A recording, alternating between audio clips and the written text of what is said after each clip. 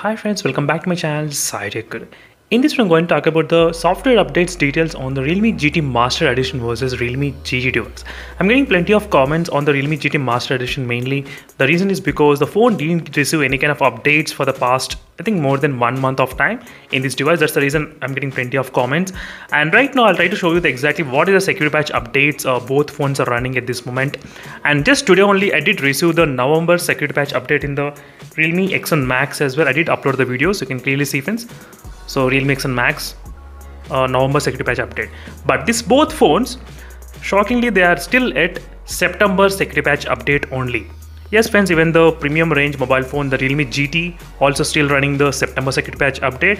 And even the realme gt master edition also still running the september security patch update only.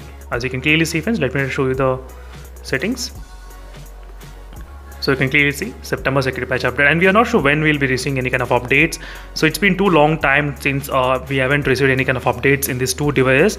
So I'm getting plenty of comments based on the comments so I thought of making a video and informing you all that it may take I'm not sure exactly when we're gonna receive the update and we we will be expecting Realme UI 3.0 update as well in the Realme X1 Max and other phones by this time, the Realme GT Master Edition and this phone should be running at least October or November update, but slightly they are kind of uh, slow at this moment.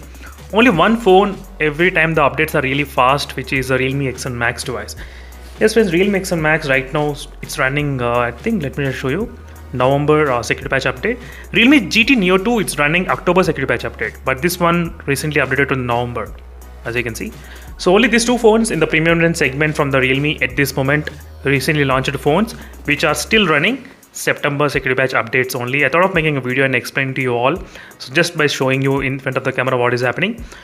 So we are not sure friends when we will be receiving the update and uh, in case if I have any kind of news, I'll definitely post the video as soon as possible. So stay tuned for those videos in case if you're interested. That's it friends, thank you for watching. Meanwhile, signing off. Until then, bye.